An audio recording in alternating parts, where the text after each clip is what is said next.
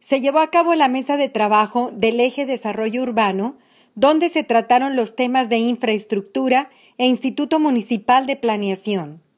Juan Carlos Benavides, quien encabezó el equipo de transición del alcalde electo, Adrián de la Garza Santos, escuchó con atención la presentación realizada por las autoridades municipales del Estado que guarda la dependencia. Durante la reunión, el equipo de transición del alcalde electo, Adrián de la Garza Santos, cuestionó a las autoridades municipales sobre el número de fraccionamientos autorizados. Juan Carlos Benavides, quien encabezó el equipo de transición del alcalde electo, Adrián de la Garza Santos, pidió información específica con relación al estatus legal que guarda el lugar conocido como CUA,